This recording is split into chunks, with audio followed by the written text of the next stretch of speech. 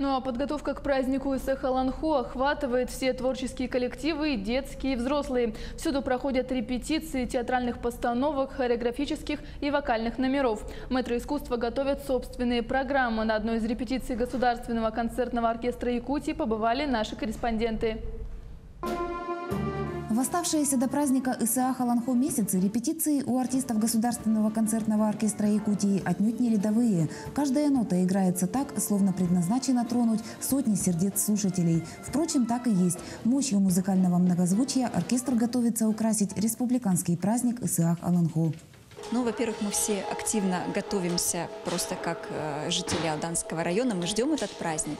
Ну и что касается подготовки непосредственно оркестра, то мы э, разучиваем новый репертуар якутских композиторов, мы ведем переговоры с молодыми исполнителями, то есть хотелось бы, чтобы этот праздник запомнился алданцам не только своей масштабностью и зрелищностью, да, э, но и какими-то такими изюминками, творческими изюминками, которые мы будем готовить.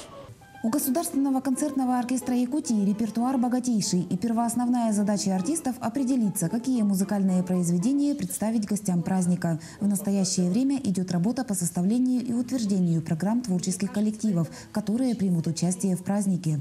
Да, сейчас идут переговоры с режиссером, с э, постановочной группой, то есть задумок очень много, идей много, ну вот э, в предвкушении уже какой-то конкретики, и пока вот своими силами то, что хотелось бы нам предложить, мы готовим. Государственный концертный оркестр Якутии образовался без малого 30 лет назад.